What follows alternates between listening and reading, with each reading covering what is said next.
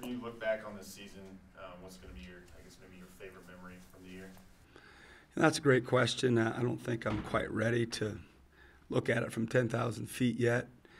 Um, you know, we're still trying to recover from what happened in the NCAA tournament and the what ifs. Um, but certainly at some point we'll reflect uh, with, uh, I'm assuming, a lot of fondness for uh, the season we had. Uh, certainly there were ups and downs along the way, but in the end, um, you know, we had a historic season overall. I, think that, you know, after the two seasons you guys have had here, 58 wins, I think all of us are kind of expecting there to be some interest from other programs. I mean, if that does come, if the fit's right, would there be some interest reciprocated by you? You know, um, I think that's a type of situation you just cross that bridge when you get there. Um, I don't think too much about that. Um, you know, have an agent obviously that handles any inquiries, et cetera. And um, you know, again, it's just one of those deals in life that um, you just deal with uh, when it's presented to you. I think that uh, a lot of people like you've done you've done a good enough job to get that that type of interest, I guess. So, like, what do you what do you see New Mexico State the New Mexico State job as? Like, some people may see it as a stepping stone. I think Mario has done, you know, got some uh, ways to kind of increase some retention there. Like, how would you evaluate the job as it sits right now in, in your chair? You know, I'm not smart enough to look at it that way. I just try to do my job on a daily basis. Um, I was very fortunate when when Mario and, and the New Mexico State brass uh, uh, offered me the job, and I was thrilled um, to be the head coach here, and I'm I've continued to be excited um, to be the head coach here. I mean, um, but I just don't look at things like that. I mean, I try to do my job and I try to get my staff to do their job, and, and then it just trickles down to everybody in the program. And you know, all that is, is to me is a distraction when you let your mind wander like that. And uh, I don't think anything good can can happen from it. Um, I love being here. I love being the head coach at New Mexico State. Uh, it means a lot to me.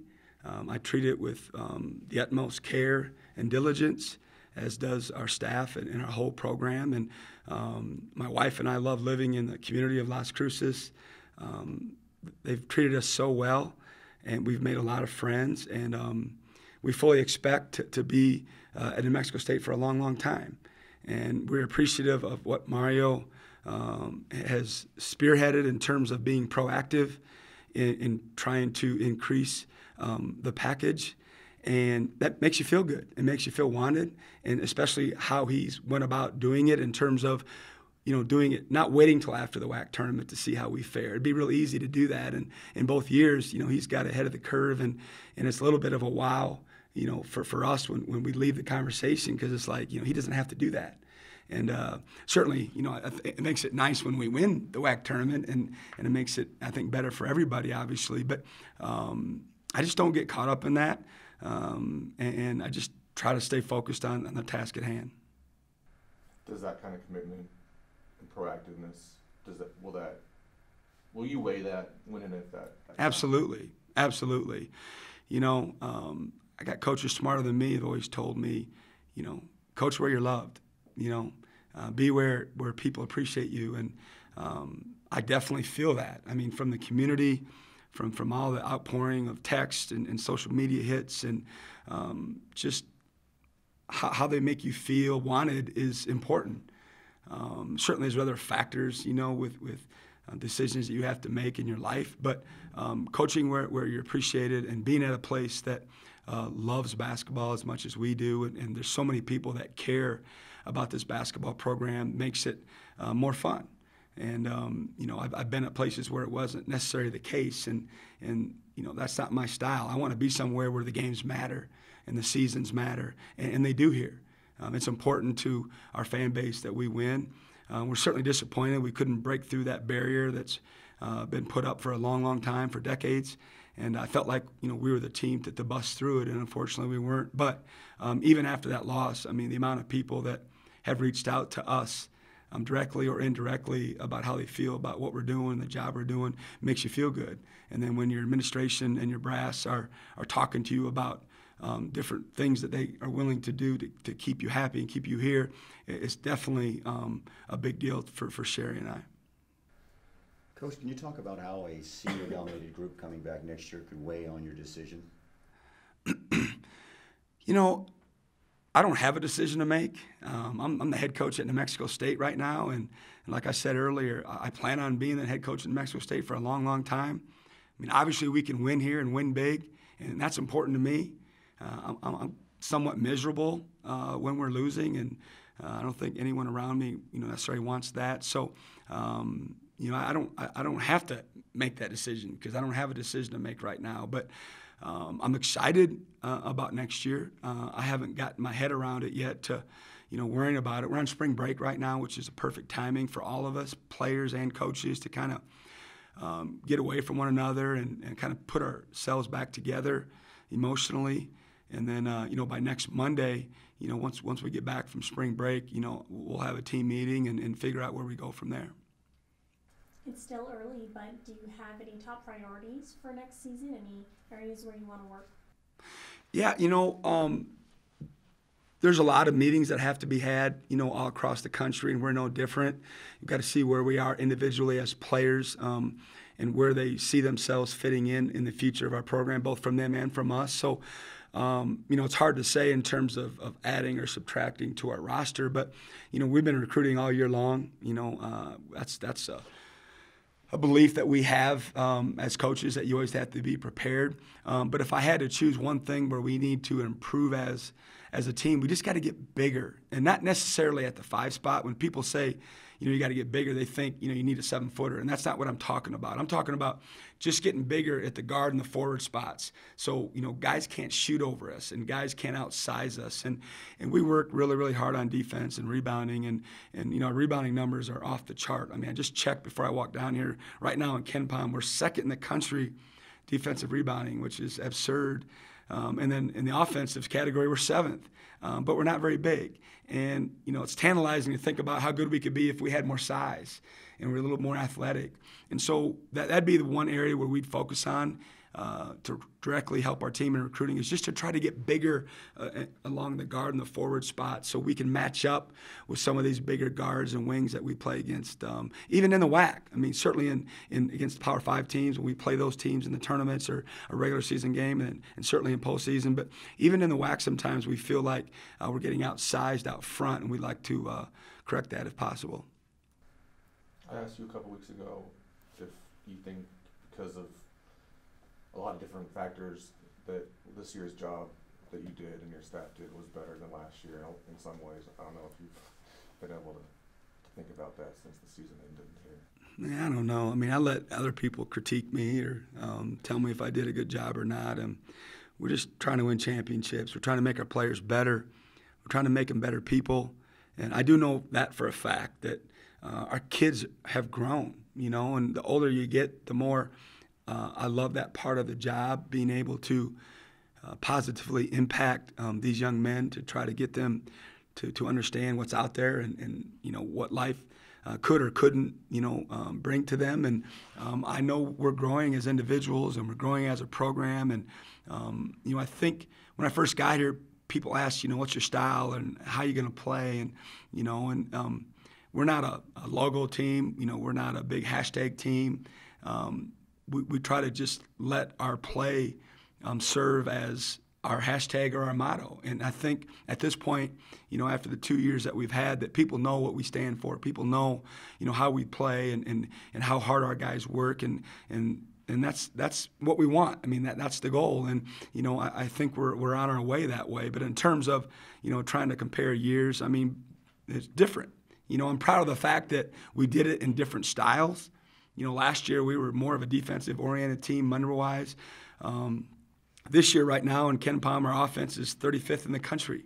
You know, I think we're 83rd defensively, and so we still are about defense and rebounding and toughness. But at the same time, you know, as a staff, we improved um, well enough and put our players in a better position where we got better offensively, and that was kind of the goal in the offseason was to get better offensively, um, to to have better spacing, to run better stuff, to put those players in better positions, and I thought we accomplished that.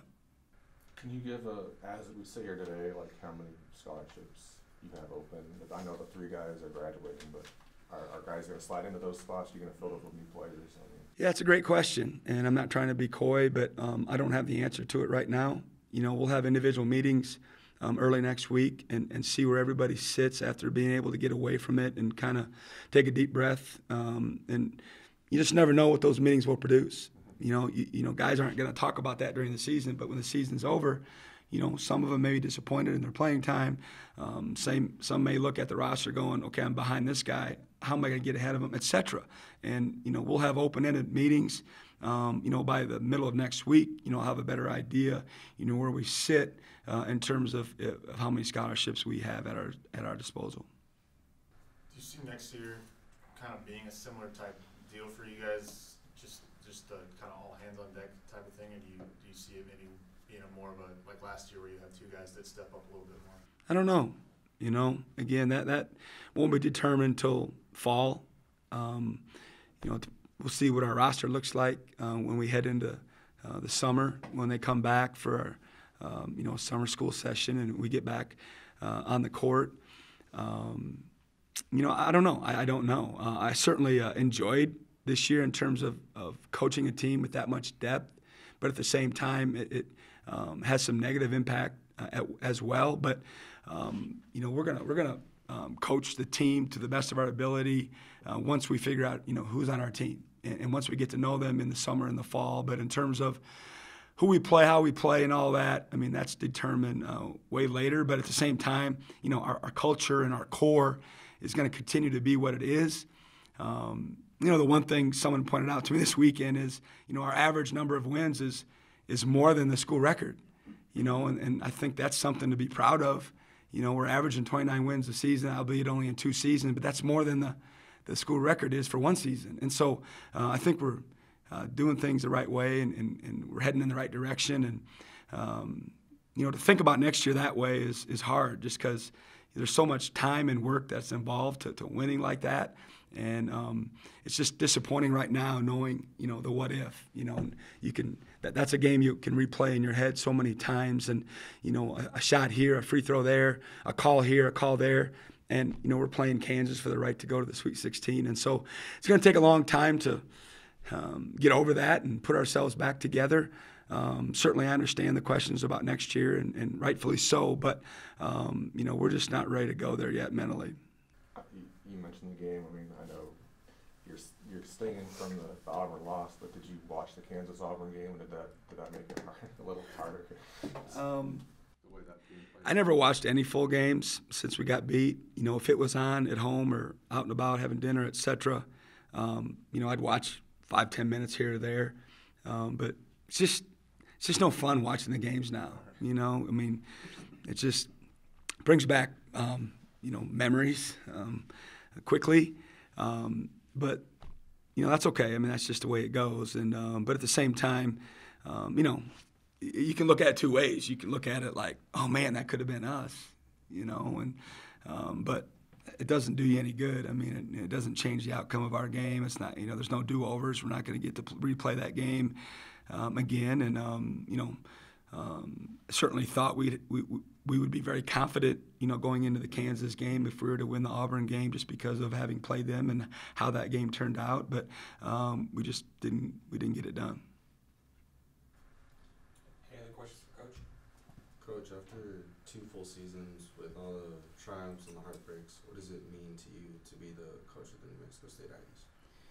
Yeah, I'm, I'm, I'm proud to be the coach of this storied program. Uh, it means a lot to me. Um, you know, we, we want the community to be proud of our style of play, and I think our kids and the way they go about competing uh, in a blue collar uh, type of way resonates with them. Um, you know, we're not a, a fancy team. It's it's you know it's not that hard to know what we're about, and we try to leave everything on the floor and compete at the highest level, uh, game in and game out, and, and we try to do it with class, and we try to do it in a first class manner. And um, you know, I think for the most part, um, our, our kids uh, are fine representatives uh, of our program, of our athletic program, of our university, of our community, and that means a lot to me and our staff.